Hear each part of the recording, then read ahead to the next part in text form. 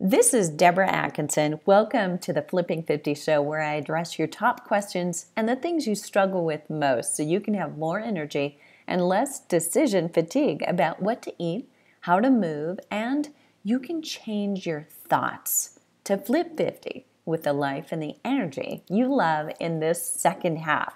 So you may have noticed, everyone, that there was no music over the intro today. So, literally, self disclosure, I am flying by the seat of my pants. So, I'm actually recording this on the very morning that I am going to immediately publish. So, I have been caught with, we could say, my hand in the cookie jar, but I don't have a cookie jar without a podcast for today. So, we're kind of entering fall and ending the Summer Inspire series. However, if you are listening to this and you feel even that little inkling that you are an inspirational story for somebody else that's listening, you've experienced uh, turning the corner, kind of an aha moment, and maybe you have actually had some real physical challenges and overcome them, I'd still love to hear from you.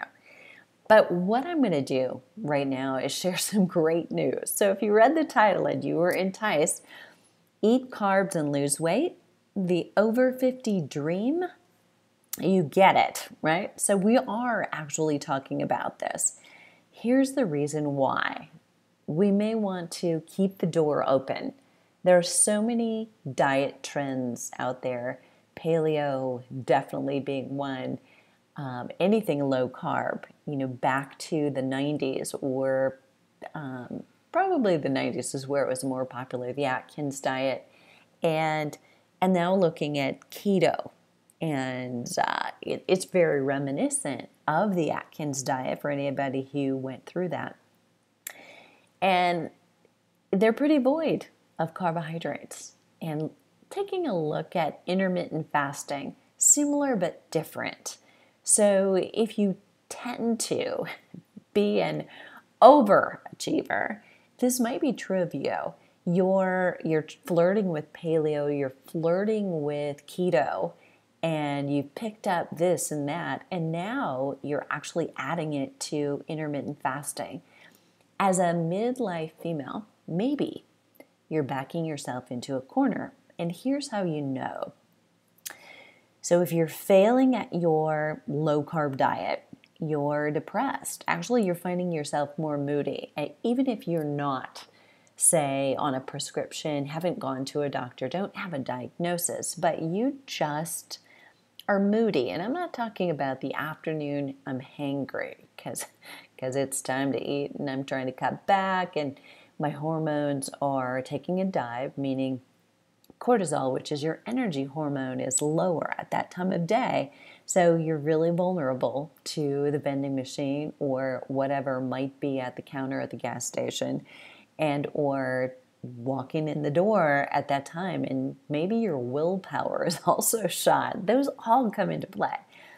But if you can't sleep, you you have a little sign or symptom of depression or maybe you are on an SSRI, which is a, a serotonin medication given to people who are flirting with depression and or anxiety sometimes it's given in the same case.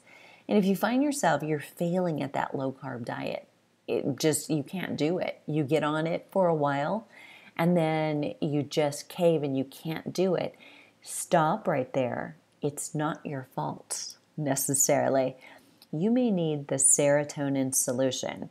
And carbs, in part, help you calm down, improve the state of mind, and can enhance your sleep. All things that help you lose weight. So, yeah, how backwards is that?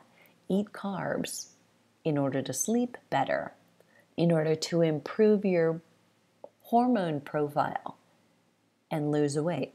Right, so it's a dream, right? but it may actually be true. And realize this every one of you listening right now is not exactly the same.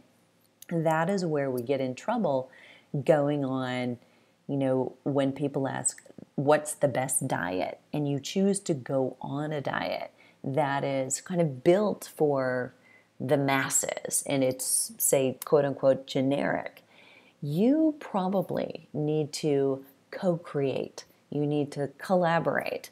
Take a look at pieces of a diet that work and take a look at first your need, your need for energy, your need for mood, your need for cognitive performance. If you are somebody who has to do a lot of fast, rapid decision making at work, you've got to function and you may need more carbohydrates than the next person in order to do that. So be open to that possibility. But the serotonin solution refers to the fact that women, we are more sensitive overall to serotonin based swings in our mood. We really can notice a drop. So you may be more sensitive than your best bud or your sister or your mom for that matter. And here's how you'll know if we've got too many gray days, we have cloud, overcast, the sun doesn't come out. If you notice your mood drops significantly, and I'm not saying just you know a little bit because i think we all can have that tendency day in day in. You'll hear people on the radio talking about it right? How we're all affected. We need to see the sun. And yet i'm talking you know even one cloudy day makes a difference for you. Or you're stuck inside at work and you don't get outdoors, you don't even have exposure to window light, which can also make a big difference. If you notice that you've definitely reached a low more than someone else, then you're probably a little bit more what we'd call a high sensitive person. Okay, it is a thing, truly. But serotonin is something that you can get not just from sunshine, sunshine, excuse me, but you can get it from a good laugh, or you can get it from venting with a friend, taking a walk, um, or your favorite exercise. So if walking is something you've got knees or ankles that are hips that won't allow you to do that, maybe that's not your jam because it's painful. But exposure to all of those is like the trilogy of, you know, uh, your own little exercise, pill, if you will. It's long been my advice to make a date with a friend, take a walk or, or bike ride, substitute your exercise in sunshine. That trilogy is the equivalent of a serotonin generating drug. Now, if you're on one, don't go off just because Debra recommends that. But it is so much better than any pill. And the real purpose of an SSRI, which is a serotonin type medication that's prescribed, generally it's for depression. It also might be for anxiety. Quite often, the same drug is prescribed for either or, which may seem slightly odd given depression seems like it's down, mood is really low, anxiety means is like heightened, but it's still, you know, a low type of a mood. Your functioning is impaired it's meant to be a temporary solution so that you're adapting lifestyle habits and changes so your body can then begin to generate its own serotonin. So while you're using that prescription drug and it's it may be situational and it may be more long term and you may need to stay on it, but some people say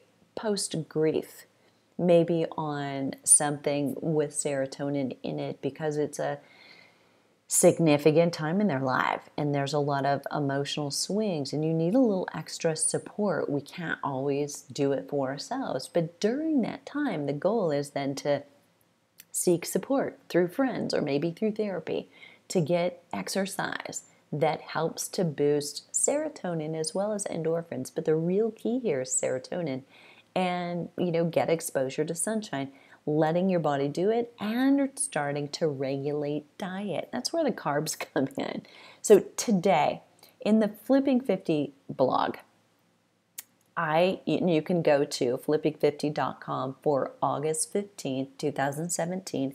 I address some of the ways that you can begin to regulate your own biometrics. That is your your biological markers of depression, mood state, anxiety. So the goal would be if you think of a continuum, anxiety on one end, depression on the other end, there's a sweet spot where you're on, right? You're alert, you're able to be productive, and you're not so on, right? Which would kind of be toward the anxiety side of things.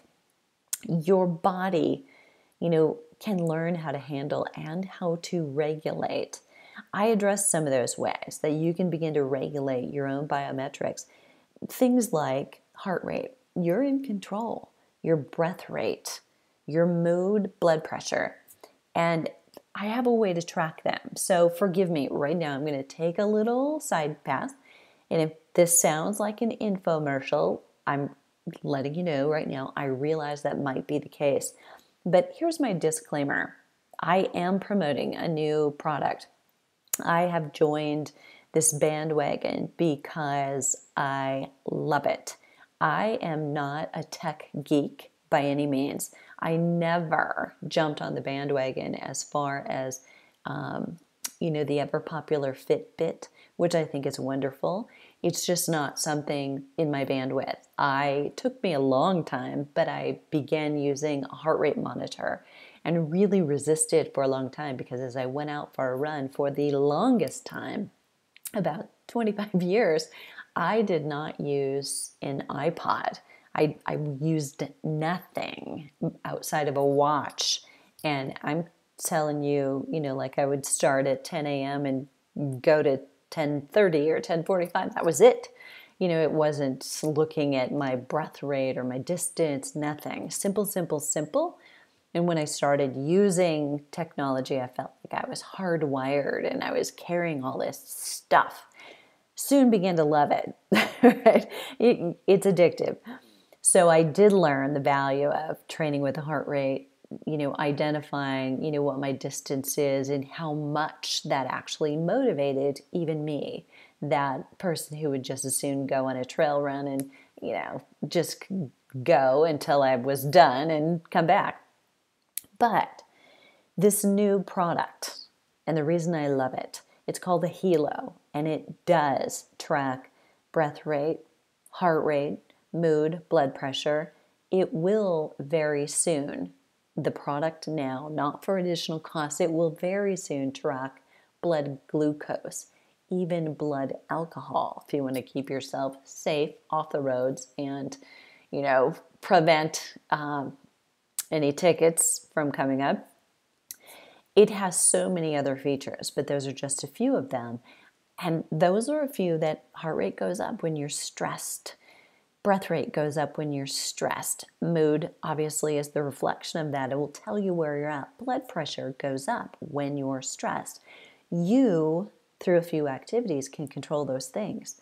So, and in this case, your best fitness and health tracker on steroids. That's really what this Helo is like. You won't find it in stores, it's not available there. I do represent, so let me say this you'll find the link to go look at it. It is a little bit more expensive than most trackers. It's about the same rate as some of the best trackers, but it does about 14 more things than most trackers will do for you. In fact, if you have an aging parent living alone, by pressing the emergency response, you can do two things. They can alert EMS, or you can be alerted first if you are using the same app. So you can be very connected to your family members and find out if they are tracking and tracking well. So let me say this I'm not the first one to jump on the bandwagon when something new comes along. Point and check took me 30 years of swearing I would never promote protein products before I realized that it was a responsible thing to do. When 50% of randomly tested protein products off the shelf in your store have arsenic in them or they have artificial sugars, they're high in fructose, which is natural sugar, but it encourages you to store fat.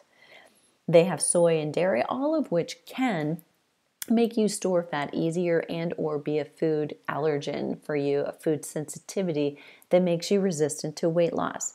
So, the irony here is the very thing that you may be reaching for if you don't have enough education beyond you need more protein to know what's in that label that you don't want in your body.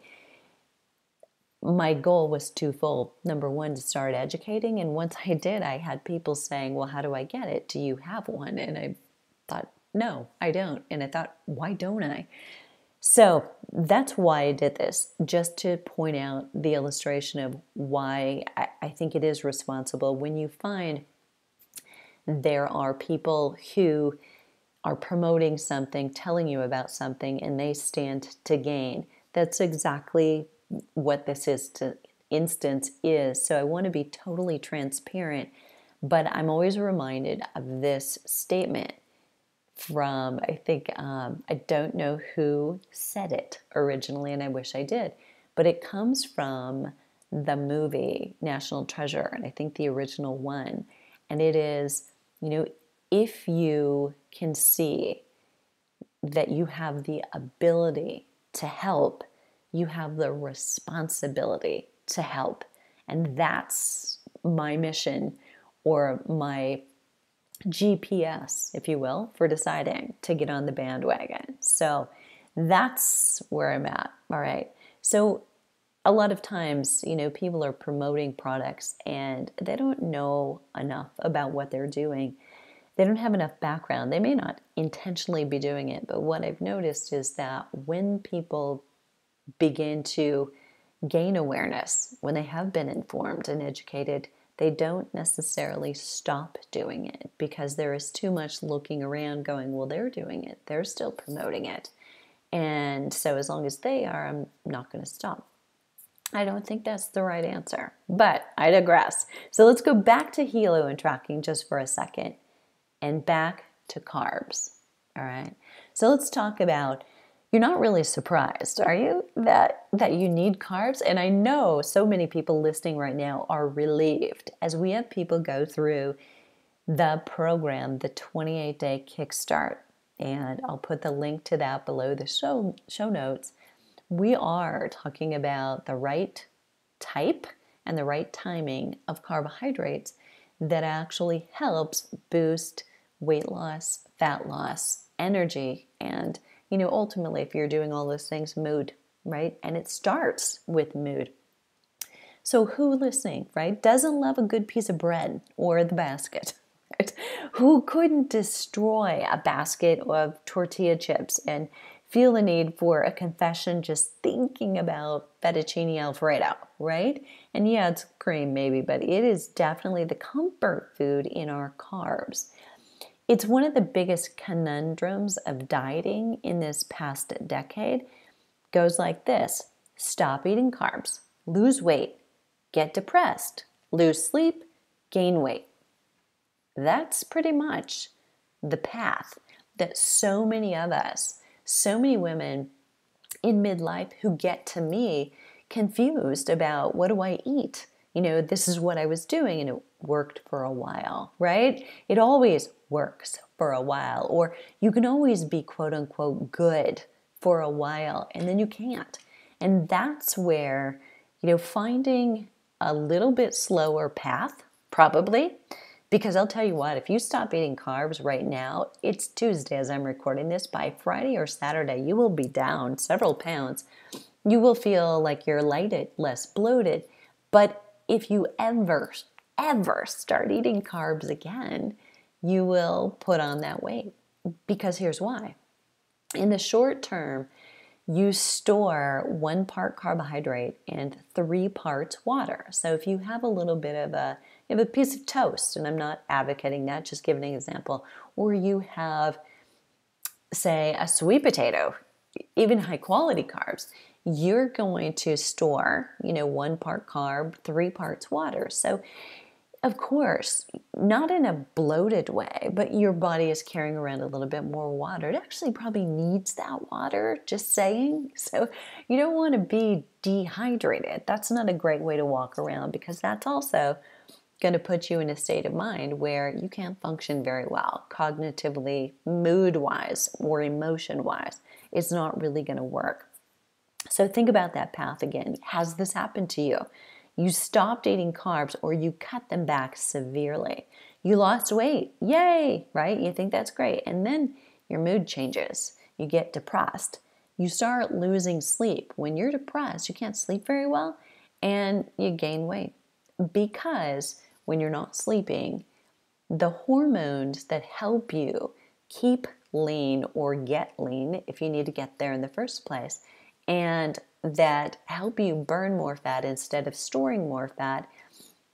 When you're sleeping well, those things are in great check, they're in balance. When you start losing sleep, those hormones that cause you to store fat are increased. And the hormones that cause you or help you to burn fat by creating more lean muscle are decreased. They're in absence and they're not going to help you any. So you've got things working against you. If sleep is not there, it would be my first focus for you. You have to sleep to regulate hormones that help boost fat burning and decrease fat storage. You, in fact, you want to be a rock star at sleep. And if you're listening right now and you're saying, I've never been a good sleeper, you, I'm going to suggest, need to stop saying that. You need to ask yourself when you're making those statements do I want that to be true? Because the more you say it, the more you send that message to your brain. What you say to yourself matters. So you could say, you know, in the past, I haven't been a great sleeper, but I'm going to focus on why that's true. Because we all came out good sleepers you know, or yeah, I'd like to always think my son was the exception. But it wasn't that he wasn't a good sleeper, just wasn't sleeping the right time or duration for me. It's all about me. And he liked to graze, right? But most of us, babies sleep, you know, upwards of 14 or more hours a day, you know, more when they first come out. We were all good at it for a while. So what we have to figure out is where did things go wrong? And get back to all of the things that can help us. Eating carbs makes you release serotonin. That has a calming and relaxing effect on you. It's it's happiness, yes, but it's happiness with calm. So you'll sleep better if you have optimal serotonin. Women are more prone to depression than men. And after the age of 50, and, and probably every decade as we age, women are more prone to depression than men, and, and in part due to serotonin. But when you think about what happens, you know, do you exercise as much? Do you connect with your friends as much? You know, are you as social? Are you exposed to sunshine as much? So, if you're limited in your ability to get out or be mobile, obviously those things change. And if you lose a partner, women are more likely to lose their life partner than are men, you know, who live longer. Men generally still have their partner because she is slightly younger and, you know, she's going to live longer than he is. Not that that's starting to even out, but that's been historically the case. Carbs are not your enemy. The right carbs at the right time will help you burn more fat during exercise, feel happier and more calm, and that right there is a prescription for weight loss. It happens in this order feel happier, get happier, lose more weight. And, and that happens in so many ways. So, on so many levels, one being you decrease your cortisol when you're happier. Now, your stressors, the things that cause it, don't go away. If you have a meaningful life, you've heard me say this, you're going to have stress. So, if you have a meaningful job, something that gives you purpose, you're going to have stress. And it, even if it's your boss hanging over your head and you're, you know, feeling that um, you're being bullied at work, if you feel like the purpose you serve in that job is big enough, you may not be nearly as stressed if you can connect to that purpose, your why you're there, why in that particular job is it necessary for you to be there? Maybe it's to offset that kind of an environment created by that specific person. And we're going kind of down a tangent here, but you know, coming back to what else happens. So, looking at you happier, decreasing cortisol, helping you lose weight because too much cortisol causes you to store it, prevents your metabolism from helping you burn more. So, get happy, then lose weight. It's not lose weight, then get happy. So, ultimately, those things will also help you sleep better. You're peaceful during the day, you're going to be more peaceful at night. So, the key is which carbs and which ones at the right time really make it right. So we we've talked about slow and low carbs. I address this very much in You Still Got It Girl the book and in the After 50 Fitness Formula for Women the online course as well as the 28 day kickstart the right carbs if you can trust for 28 days even you'll see a difference and most likely feel a difference. You're on a continuum somewhere. You're not exactly the same as me. You're not exactly the same as your bestie or your spouse or other people may be sitting at your table. So you've really got to test, you know, are you highly sensitive to carbohydrates? And if you are, you may need to limit your high sugar fruit, for instance and focus on berries and citrus fruits that are lower in sugar but highest in nutrients, but primarily spend your time in veggies. No one ever overdosed on veggies. So non starchy vegetables, the deeper the color, the better. But also, you know, onions, cabbage, mushrooms are high quality in nutrients that you don't get from all of the other ones. And you want to be sure you're not defaulting to the same, same, same. Leafy green leafy vegetables. Spinach, wonderful, but not every day, not multiple times a day. You need to switch that out for kale, for microgreens, for baby lettuces, or for romaine. And yes, some of those are deeper in color than others, and you may think, well, I've always been told spinach is the best. But the rotation allows you to get more of the positives and none of the negatives. Even spinach can be toxic. So do the same with deeply colored vegetables. You may love carrots, but you want to alternate them and make sure you're having asparagus, green beans, you're having beets, you're having, um, when you get to starchy potatoes, looking at sweet potatoes a little bit more often than white potatoes, although white potatoes are not bad. So it's looking at when and why and how that's really important and testing yourself to be sure that you've got it. So if I've stirred a pot here, and if you'd like to submit a question, leave it below the show link at flipping50.com forward slash podcast. Join us on the Flipping 50 TV Facebook page.